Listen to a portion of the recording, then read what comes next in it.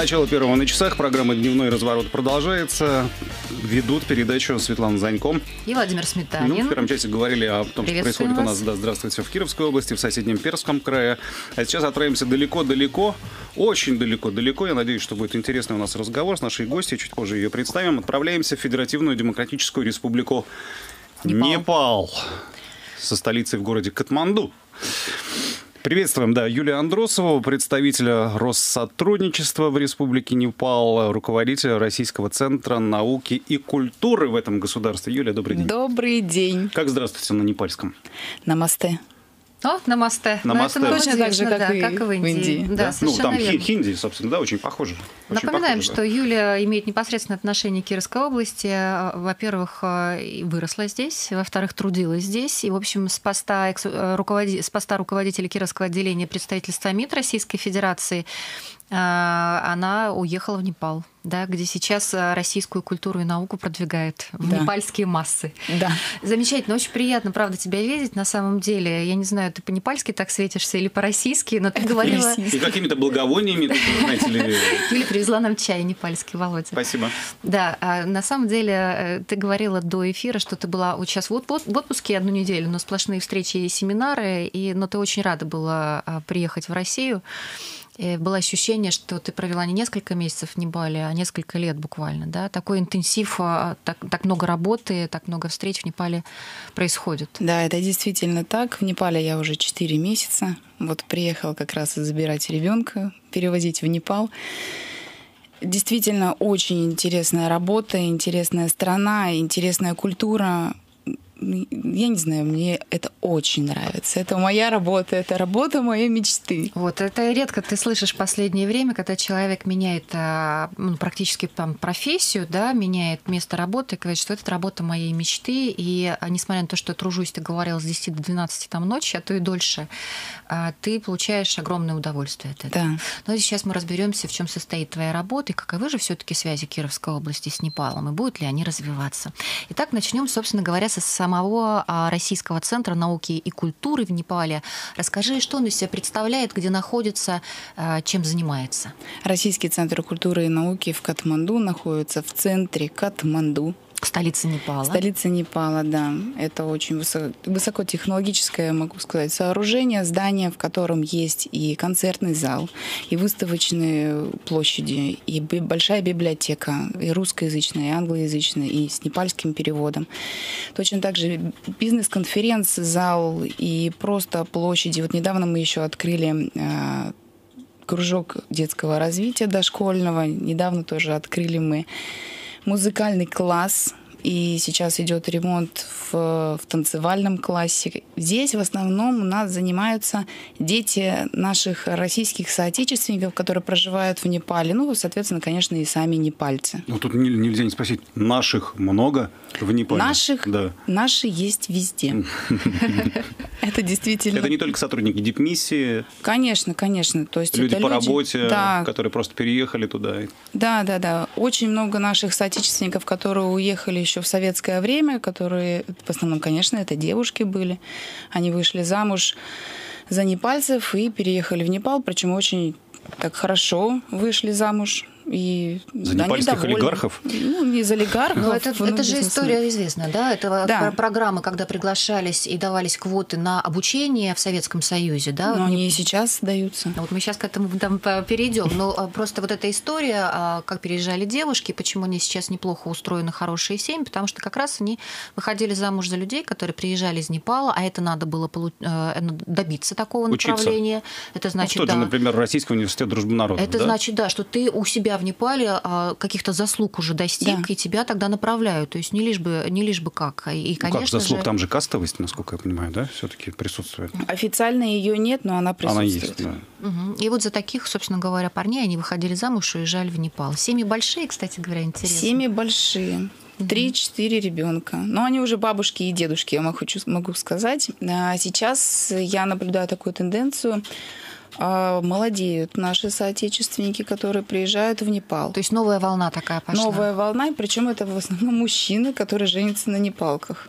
А, О. теперь по-другому да. все. Это мужчины, да, да. которые переезжают из России, от российской действительности в новую некую такую культуру, и там уже а, ну, там, меняют свои взгляды и женятся на непалках. Я не могу сказать, что они меняют свои взгляды. Вот сколько я общалась сейчас, вот, ближайшие там, два месяца, вот сколько я общалась с молодыми людьми, которые при, приехали, они говорят, мы не меняем ничего. Мы как Россию любили, мы так ее и любим.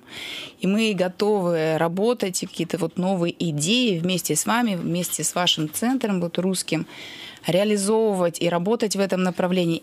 Они очень им не хватает русского языка, им не хватает русской речи. Они к нам приходят. Мы каждую субботу встречаемся с нашими соотечественниками по самым разным поводам, и иногда даже без поводов, встречаемся и просто общаемся. Ну вот русские люди в Непале, неважно какого поколения, советских времен или вот новая, как ты говоришь, волна, они являются для тебя э, такими коммуникаторами и, может быть, даже источниками идей и запроса, да, что да. нужно от русского центра в Непале. Да. Я думаю, что это одна из моих основных задач. Интересно, эти семьи, а, конечно, молодые сейчас интересуют, а, они стремятся к тому, чтобы их дети знали русский язык? Да. И для этого вы организуете курсы да, какие-то? Да, школы? у нас есть курсы, они платные для э, непальцев, э, три уровня. И точно так же есть у нас как раз подготовительные курсы для детей, вот именно соотечественников наших, и они очень-очень хотят, чтобы их дети несли и русскую культуру, и знали русский язык. Это для них очень важно.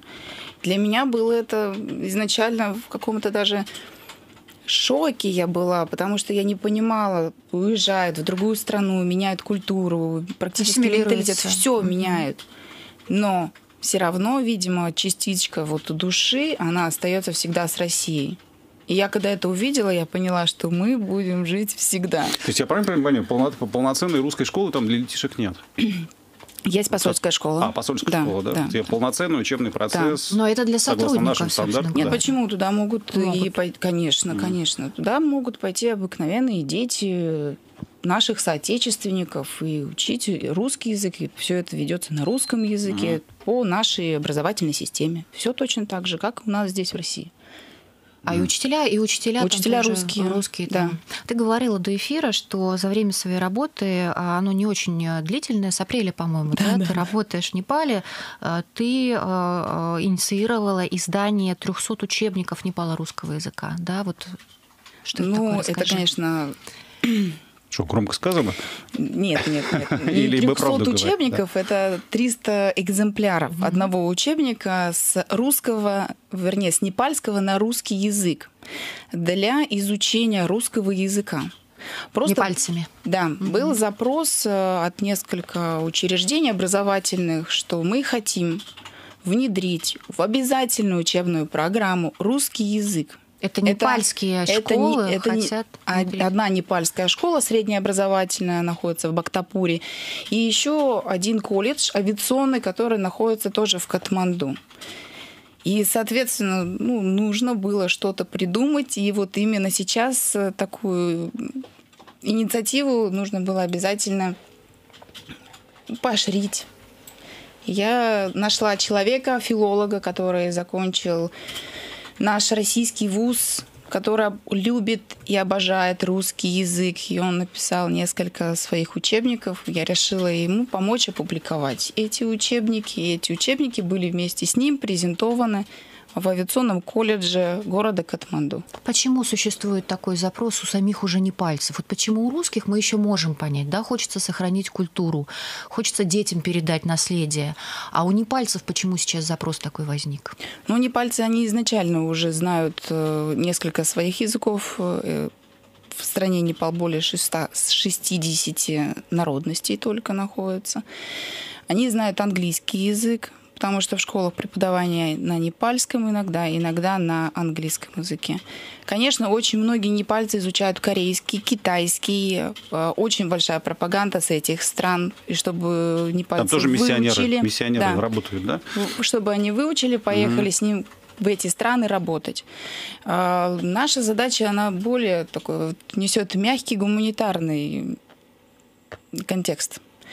И я не могу сказать, почему именно русский язык, возможно, это чемпионат мира по футболу угу. так повлиял, потому что это действительно ко мне приезжали, когда а, люди приходили в центр после чемпионата мира, когда они приехали, они говорят, мы не верили, что это действительно так, потому что в основном э, они берут информацию из информагентств наших партнеров, Западных. Западных. Это люди, которые съездили на чемпионат мира Да, да, да. И они говорят, мы даже не могли представить, что Россия такая.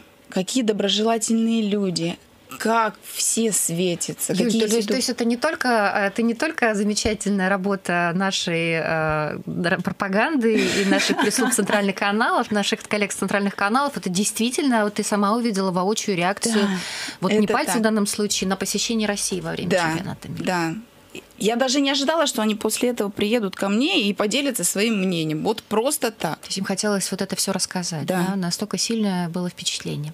Прервемся буквально на полминуты и расскажем о том, как был презентован опыт э, и э, потенциал российских вузов в Непале. Хорошо. Юлия Андросова, да. руководитель Российского центра науки и культуры в Непале, у нас в гостях. Еще раз для тех, кто только что подключился, скажу, что Юлия Кировчанка, она экс-руководитель Кировского отделения представительства МИД Российской Федерации в Нижнем Новгороде. А, а сейчас, уже с апреля месяца, а, как раз а, представляет российскую науку и культуру в Непале. И Юля нам рассказывала до эфира, что не очень давно прошла презентация российских вузов в Непале. Сколько российских вузов вузов участвовал в презентации. И наш опорный Был ли там представлен? Наш? Конечно, Киров? конечно, так. как это без Вятского государственного угу. университета. А, да, э, это было в конце июня. У меня проходила образовательная выставка. Но это мой был первый такой опыт. Э, там э, я, если честно, просто собирала вузы, которым интересен регион Непал. Кто заявились, соответственно, кто предоставили свои презентационные материалы, они были и выставлены на этой выставке. А посетила выставку где-то около 1500 человек. Это хороший результат. Это хороший результат, но она Непал, не просто надо же сказать, была... что в Катманду живет миллион человек. Ну, вот это как когда вот два Кирова. Ну, всего. вот я смотрю, в Википедии общее население Непала примерно 30 миллионов. Да, а, а площадь... А, а, площадь... Катманду, а Катманду миллион. Да, а площадь сопоставима ну, с Кировской областью. Ну, у, нас 100, у нас 120 тысяч квадратных километров, там 140. Непала, Володь, ну население да. Непала, мне кажется, в основном сельскохозяйственной деревни. Нет? Высокогорье. Высокогорье. Ну, то есть, Гималайи. ты понимаешь, что не для, не для горной деревни делался, конечно, презентация там вузов российских, конечно, а для тех, кто же... концентрирован в Катманду. Да, угу. ну не только в Катманду, а в близлежащих областей, угу. штатов. А, я считаю, что это хороший результат. И если Например, в следующем году, когда начнется кампания как раз поступления в университеты, и если непальские студенты, то есть абитуриенты будут выбирать наши вузы, и наши вузы не только московские и питерские, потому что образование, я считаю, у нас качественное в России везде, но и в том числе и Ростовский государственный университет, э, Вятский государственный Вятский, университет. Конечно, да, прежде всего. Да, да, да. Ну, то есть вузы, которые находятся уже в, обла... в субъектах Российской Федерации, а не в, столицах. Не в Питере, не в Москве, то есть такие где э, образование качественное, а, собственно, те же цены, условия жизни, условия жизни они доступнее. подоступнее, да, чем в столице. Да. Да, конечно, это очень важно. А кто приходил на эту выставку? Э, это изначально аудитория наша была целевая, это старшие классы, угу. кто учится в 10, 11, 12 классах. Там 12-летнее образование. А там очень странное образование, очень странная система. Я бы, да, система, которую пока я еще не совсем, может быть, узнала до конца. У них очень много каникул, у них очень много праздников, и мне даже кажется иногда, что они больше отдыхают, чем учатся. Когда жара, наверное, не учатся, Поэтому да? новая сезон... волна переезда российских молодых мужчин в Непал. Возможно. Так. А, и было очень много э, так называемых э, консультантов по образованию, которые продвигают э, не только образование российское, но и других стран в Непале. Они, конечно, тоже были заинтересованы. Было очень, наверное, где-то я видела человек 6 или 7 директоров школ, И э, был один вице-канцлер, ну это такая же должность, как у нас ректор одного из университета, угу. ну местного. Угу. Вот. И, и в итоге-то что? Показателем будет, Юлия же сказала, да. показателем будет, если непальские студенты конкретно пойдут заявляться в наши в российские да. вузы. Да, То есть да. ты будешь смотреть и вести даже какую-то статистику стараться конечно, собирать. Конечно, конечно, да. А, а Россия оформила, оформлена свои отношения с Непалом по части образовательных тогда программ? Пока еще Пока не во еще? всех. Не, не во всех. всех, но я хочу сказать, что правительством Российской Федерации выделены федеральные квоты на образование в Российской Федерации. Просто мы же видим Я здесь вот э, в районе театральной площади вот, там, очень жалко этих ребят, которые в 20-25 градусный мороз, мороз идут, а они далеко-далеко из Африки к нам приехали. Ну, жалко прямо их. Если это Северная Африка. Мне больше на самом деле умиляют девочки из Китая, потому что они, вот они мерзнут больше, они маленькие, одевают большие пуховики. Кстати, про, про климат в Непале надо рассказать. Это, во-первых, высокогорье, э, сам э, там, столица Катманду находится на высоте 1300 метров, а ты говорила, что зимой там все-таки плюс 15-18 градусов. 15-18 градусов, но все ходят в пуховиках. Но все, им, им все равно холодно. Да. да? А летом Китайских. какая температура? Лето вот э, сейчас как раз я уезжала, это сезон муссонов, это дожди. Но я вам хочу сказать, дождь прошел, час буквально, через 15 минут все сухо. И тепло. И тепло. Угу. Дожди не так угу. часто, как я представляла себе. Давайте о культуре поговорим. Раз уж Центр науки и культуры называется, да, учреждение, которое возглавляете. Вот как представлена российская культура? Что это? Литература, музыка, искусство? Какие у вас векторы тут обозначены в этом отношении? Какие? Во-первых, да. у нас есть, э, формируется целый план на весь год, по каждому месяцу, по памятным датам по памятным датам, которые связаны с Великой Отечественной войной. Которые день Победы, с... день начала войны, да? Ну да, это обязательно. Ну это, с одной стороны, как бы вот, э, точно так же памятные даты по Тургеневу, по Пушкину. У нас, э, ну, как я определила для себя, что там, день русской культуры – это день 6 июня. Это день, день рождения, рождения Александра Сергеевича mm. Пушкина. Это день русского языка. Конечно, у нас был очень большой актив в этот день. У нас был и спектакль, который был э, сыгран местным, местной студией. Шайли. Они показали спектакль «Сказка о рыбаке и золотой рыбке». У нас э, непальское общество литературное читало Пушкина на русском языке и в переводе на непальский язык. Да, это действительно, это было очень красиво. У нас э, мы показали целую презентацию и Болдина, и, то есть, и усадьбу Пушкина, и рассказали про него. Точно так же еще был концерт, который организовали наши дети, дети соотечественников. Э, это было музыкальное, театральное представление, даже целый мюзикл, который назывался «Анна». Было очень много народу. В этот день, конечно, мы очень устали, но видели довольные лица, которые вот выходили, и это все они говорили, так, это у вас все круто, угу. так у вас это все живо. Нам очень нравится. Изобразительное искусство. Изобразитель... Творчество выдающихся да, живописцев это русских. обязательно. У нас всегда каждый месяц проходит помимо каких-то разных выставок, они могут быть и образовательные, они могут быть посвящены космонавтике, они могут посвящены просто какому-то литератору или ученому. Еще у нас проводит, э, проходит один раз в месяц всегда э, по выставка по живописи. А, буквально в, в июле у нас была выставка, называлась она «Россия глазами Непала». Это рисовали маленькие дети, ну, ученики Академии школы искусств. Я вам хочу сказать, хорошая работа. Я даже две картины прикупила себе. А где Россию-то они увидели, раз их глазами? А, Даже то есть они кто-то по открыткам, кто-то А-а. по рассказам, кто-то по фильмам. Кстати, нам, к нам они приходят и фильмы смотреть. Мы транслируем, не транслируем, мы показываем фильмы. Художественные или документальные? Художественные, Художественные фильмы, да. Причем вот э, недавно показывали мы э, «Салют 7». Ну, угу. Относительно свежий да, фильм. Да, такой, да, да, мы получили разрешение от продюсера, и что мы можем транслировать это. И показали. Очень много было довольных людей, и, соответственно, они видят и через нас, они видят через э, наши посты в социальных сетях, как мы любим свою страну. Вот сейчас мы про работу в соцсетях поговорим. Напоминаю, у нас в гостях Юлия Андросова, представитель Россотрудничества в Непале, директор э, Российского центра науки и культуры в этой стране. Про работу в соцсетях. Это такой э, как раз канал распространения сейчас максимально, который можно задействовать для, для ну, хорошем смысле слова пропаганды да, российского. А, как вы там представлены в соцсетях? Мы представлены в Фейсбуке, есть страничка у центра. Конечно, есть страничка и у меня личная. Угу.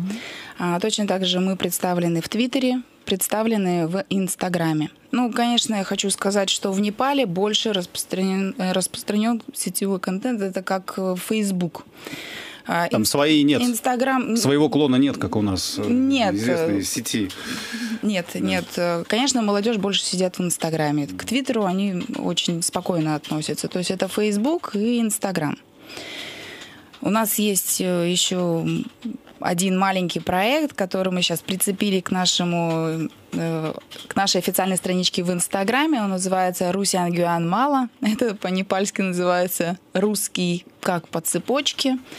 А, и на этом аккаунте можно найти наши русские слова в транскрипции и в переводе на непальский. То есть непальский гражданин может подписаться на эту страничку и воспользоваться им даже как словарем, открывать, читать, что это за слово, как оно произносится, и пользоваться им в обиходе, если ему это интересно. На данный момент, вот я как раз сейчас перед эфиром смотрела, у нас где-то около 250 подписчиков. За месяц я считаю, что это хороший такой вы там как каждый как день выдаете по новому слову? По одному слову, да. А, ключевые, наверное, слова первыми идут. Да, ну, как этом... букварь, папа, мама. Ну, есть Нет? и такие, здравствуйте, дайте, угу. помогите, пройдите. Ну, то есть такого плана. Конечно, это в основном даже глаголы. Угу. Непальский язык сложный, раз уж о нем заговорили.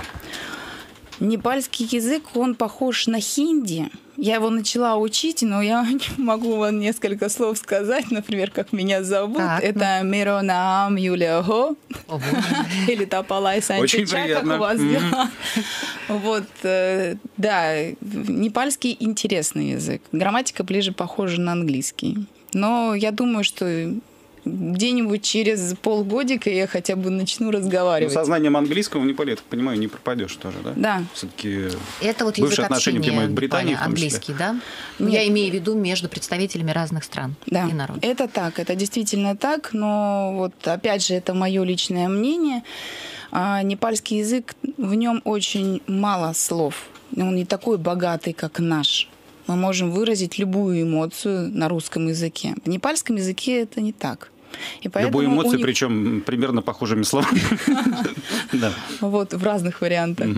А в Непале, в непальском языке очень много а, иностранных слов, и в основном это английские слова. И поэтому, если они разговаривают на какие-то бытовые темы, то вы их не поймете. А если они разговаривают уже какие-то деловые темы, то с вкраплением английских слов вы можете, в принципе, понять, о чем люди говорят. Мы сейчас прервемся буквально на полторы минуты и расскажем после короткого перерыва о возможном, и о том, как развивается или и развиваются ли экономические связи Непала и России.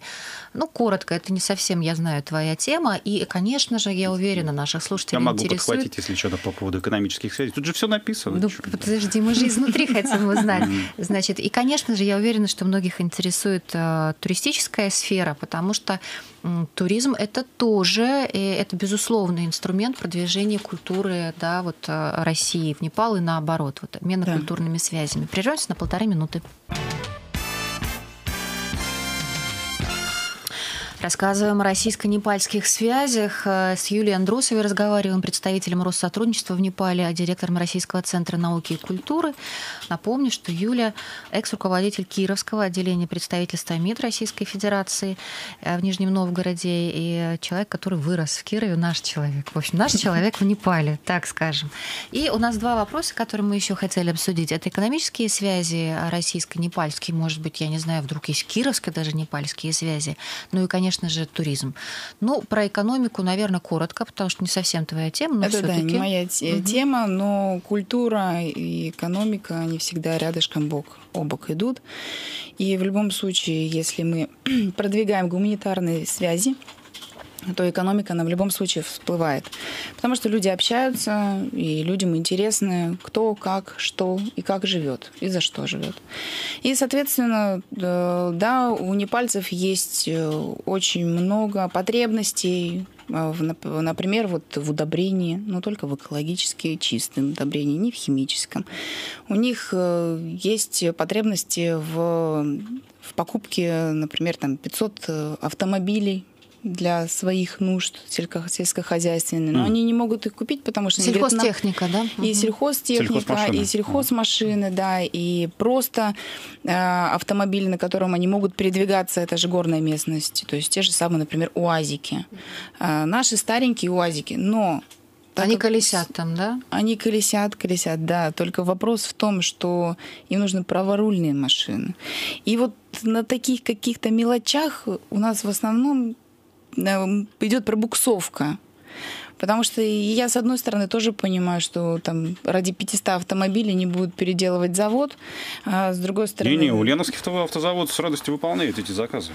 Ну вот, Там. Э, как я поняла, они ко мне подошли не пальцы и говорят, что вот так и так, вот Два года мы с этим бо... ну, не боремся, пытаемся угу. что-то сделать, но никак у нас не получается. Какой им, скажите, у вас страна... Непала на УАЗике есть. Есть. Да. А у УАЗа пока нет ответа. Нет, Почему пальцев. нет? Новости от УАЗа регулярно идут, что вот из какой-то страны пришел заказ на партию праворуких УАЗиков. Они делают это с удовольствием. Владимир, выполняют. мы этот вопрос сейчас с вами после... Сейчас вы обсудите и сделаете поставку Нет, таким проще сказать, слушайте, не пальцы дорогие, у вас страна маленькая, вам проще правила поменять на российские. Не правосторонние, а левостороннее движение у вас будет. Здрасте вам. А я, например, тоже радуюсь, мало чему радуюсь, но там встретите в, как в городе какой-нибудь дороге Ниву или УАЗик в другой стране у меня вызывает умиление. Да, мне тоже деле. нравится это. То есть даже а, к тебе, как представителю вроде бы России в культурной отрасли научно подходят, в том числе и бизнесмены, да, для того, да. чтобы консультироваться. Что делать? Может быть, существуют какие-то а, непреодолимые или непонятные культурные в том числе барьеры. Я вот помню,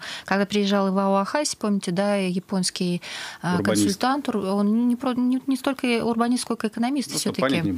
Да. Э, экономист все-таки. Мы когда экономические темы обсуждали, он говорил, что ментальность и культура часто являются препятствием на, на пути к ну, бизнес-связям.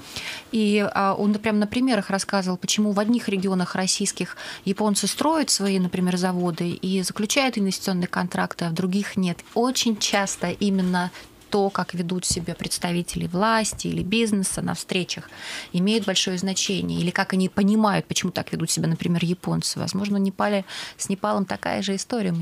Я не могу сейчас утверждать mm-hmm и то, что вы сейчас сказали, Светлана, и обратное, потому что пока еще 4 месяца. Мы, э, я работаю. Я могу сказать, что точно интерес к, российск, к российским регионам есть. есть. К российским товарам есть. И люди, они идут, мы с ними общаемся. Мы проводили в июне как раз презентацию инвестиционного потенциала Кировской области. Я, я сейчас взяла за основу, что каждый месяц это такая практика будет у меня там. То есть вот сейчас э, Чувашская область будет, потом Удмуртская область, потом Мордовия, ну и так до конца года. Мы решили, что будем проводить, потому что потребность есть. И, соответственно, по потребностям мы можем что-то предложить. У нас сейчас а, будет организовано каждый, каждый квартал. А, это будет бизнес-семинар, на котором встречаются, приезжают русские э, представители бизнеса, российского, вернее, представители, и непальского, и обсуждают за столом, круглым столом переговоров, какие есть проблемы и как их можно решить. Угу. И с непальской стороны, и с российской стороны. Сейчас вот мы как раз провели один из семинаров, мы э, занимались выявлением проблем. Потом пойдет вот следующее, это у нас будет в октябре, это будет обсуждение и решение, и как выйти из э, этих э, вообще вопросов, которые существуют. Угу. А надо сказать, что Непал в любом случае а, движется в мировом тренде, хоть это и страна третьего мира, если мы говорим по экономическому развитию. И санкции, которые существуют между Россией и другими странами, взаимные санкции, я имею да, в виду, да, они, конечно, являются а, препятствием на пути многих очень, решения очень многих сейчас вопросов. А меня все-таки интересует, какие кировские предприятия а, презентовали свой потенциал вот в Непале на прошедшей выставке? Э, это была не выставка, это была, э, то есть интерактивная программа. А, был представитель от Кировской области, который к нам приезжал. А можем сказать, кто это был? Who is? Ну, там написано все, у нас написано. Заходите на наши социальные сети, там все есть. А, и точно так же это была презентация в электронном варианте с, на английском языке, mm-hmm. и где непальцы это увидели. Соответственно, были вопросы, конечно, где представитель от Кировской области а, на них ответил. А, я больше была как организатор этого мероприятия, такой, да, да, э, чем, например, да, конечно, где-то я тоже mm-hmm. вставляла свои 5 копеек, потому что все-таки Кировской области работала 15 лет, и какие-то вопросы, на какие-то вопросы могу ответить. Угу. Ну, у нас тут общение уже скоро будет заканчиваться. У меня пред, предложение сразу. А, про туризм, туризм еще не поговорили. Вот пока воспользоваться отпуском, Юля, пойти. Вот я знаю, там крупное мероприятие скоро Вятская торгово-промышленная палата устраивает. Выступить. Уважаемые... Сегодня. Сегодня, точно Мероприятие. сегодня. Да, там прям там заявить, Юля уважаемые знает, бизнесмены, добро Премия, пожаловать признания. в Непал. Да. да, там пойти по нашим музеям, театрам, поедемте в Непал. Мне кажется, Юля разберется, куда а, ну ей да, нужно сходить и где представить.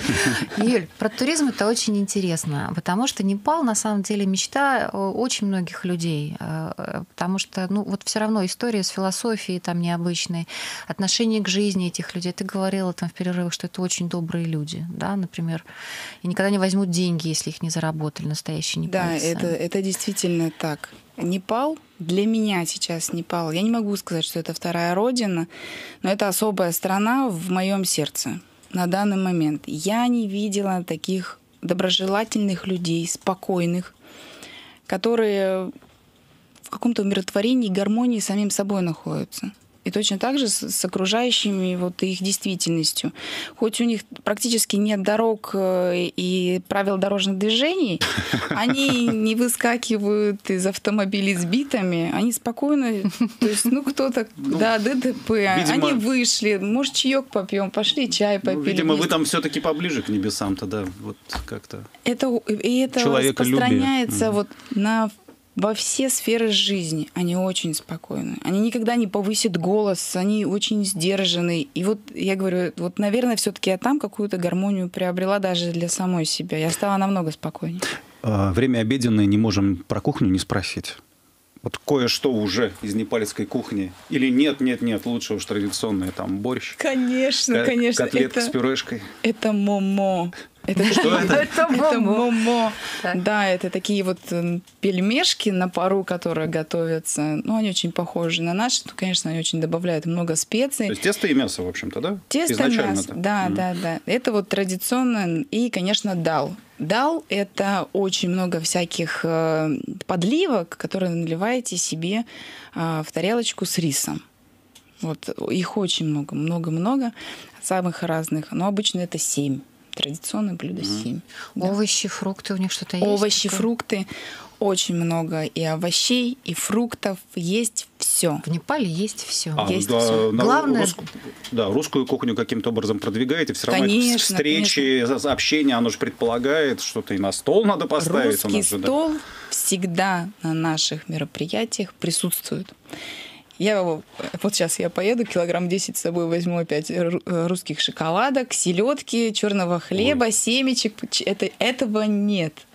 И не пальцем, это очень интересно попробовать, что это такое. Конечно, то есть, да, я привезу да, даже их своих русских, и не пальцев порадовать нашей селедочкой, семечками и черным хлебом.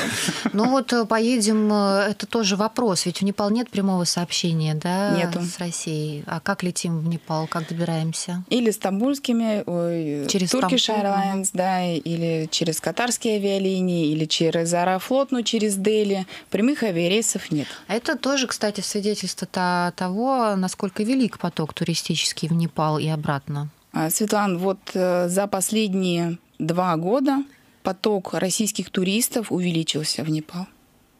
Вот как раз после землетрясения, когда начали уже восстанавливать и инфраструктуру, и все остальное, он увеличился. И он и сейчас увеличивается тоже такой хороший прогрессии.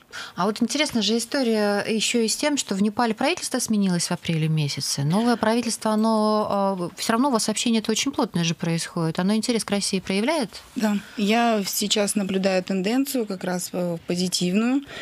А, разворот в сторону Москвы. И меня, конечно, это очень-очень радует. Я даже вижу по всем своим культурным э, проектам, которым и мероприятиям, которые я организовываю, что численность, э, которая приходит ко мне там, ежедневно или на мероприятие, она увеличивается, и увеличивается она качественно.